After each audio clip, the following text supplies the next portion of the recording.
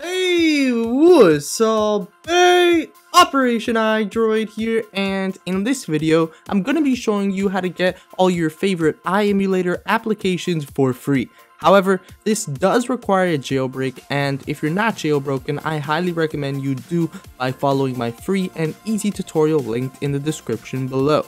Now, I have made a video on this in the past, but I felt like I needed to make an updated version for the latest jailbreak and new subscribers. With all that being said, I hope you all are excited to start this video. If you are, definitely hit that like button and without any further ado, let's head into the tutorial.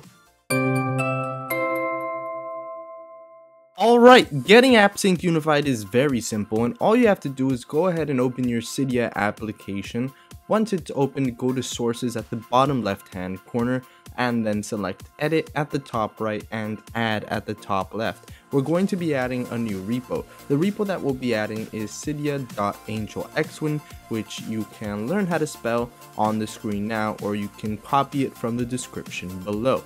But once you have that written out, you can go ahead and add the source by simply clicking adding source. It'll verify the URL, do all the Cydia things that it usually does, and once it's done, you can go ahead and return to Cydia by selecting return to Cydia. Now you'll see that you'll have a new repo called Karen's Pineapple Repo Click on it, select all packages, and select the AppSync Unified package. This is the tweak that we'll be installing that will allow us to download all the iEmulators applications without the date trick, without a BuildStore account, without anything. All the applications will simply install once we select install on this tweak at the top right and then hit confirm.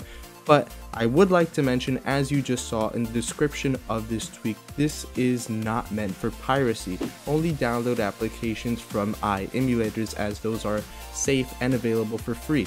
Anything else I would not recommend downloading because you don't know where that's been or what it's done or if you are or are not pirating. But with that being said, just simply follow this tutorial and you'll be good. So once you finish installing AppSync Unified, it'll ask you to respring your iOS device. Go ahead and respring it and go back to your home screen where you'll see that you actually don't have any new applications because it's a tweak. Once you install it, the things will just seemingly work. So go ahead and go to iemulators.com and go to the applications and all you have to do is go to any application that you'd like and go ahead and install it. So I know that GBA for iOS is a popular application that people are always constantly asking you how to get, so you can easily get it by selecting GBA for iOS, selecting install and install again. And if you need any help getting games for GBA for iOS, I have made videos on it in the past and all you have to do is click the video that is actually within the iEmulators website that you see there. You just click it and play it and you can learn how to get games. But in this video, I'm simply showing you how to get the application and this will work for any other application that is on iEmulators as well. Thanks for watching, I hope you found this video helpful. If you did, then please leave a like as it's greatly appreciated. As well as share this video with a friend and let them know how they can get their favorite iEmulators applications for free.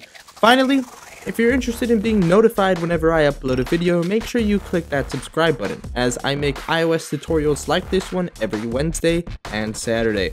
Thanks for watching, thanks for subscribing, and welcome to the operation.